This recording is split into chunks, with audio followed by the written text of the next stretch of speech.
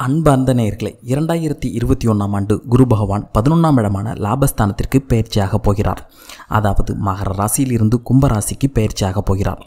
இந்த பயிற்சியானது வாக்கிய பஞ்சாங்கத்தின்படி பதிமூணு பதினொன்று இரண்டாயிரத்தி இருபத்தி ஒன்றாம் தேதி குரு பகவான் பயிற்சியாக போகிறார்.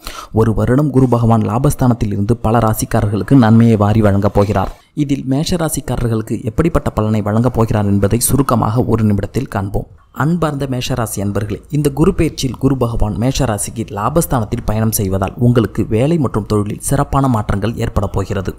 வியாபாரத்தில் செய்யும் முதலீடுகள் இரட்டிப்பு லாபத்தை கிடைக்கச் செய்ய போகிறது. அபரிமிதமான பணவரவு வருவதால் இதுவரை இருந்து வந்த பொருளாதார சிக்கல்கள் நீந்து உற்சாகமாக வளம் வரப்போகிறீர்கள் மகன் மகளுக்கு உயர்கல்விக்காக அதிகமாக செலவு செய்வீர்கள்.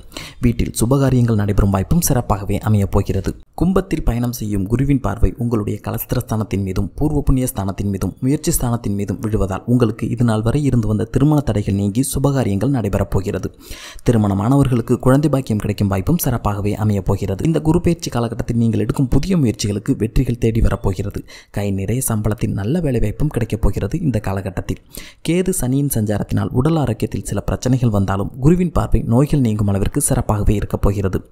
இந்த காலகட்டத்தில் உணவு விஷயத்தில் மட்டும் கவனமாக இருப்பது நல்லது. அவ்வப்போது மருத்துவ செலவுகள் வந்தாலும் நோய்கள் நீங்கி உடல் ஆரோக்கியம் அற்புதமாகவே இருக்கப் போகிறது. மொத்தத்தில் மேஷராசி என்பர்களுக்கு இந்த குரு பயிற்சி லாபகரமான பயிற்சியாகவே அமையப் போகிறது.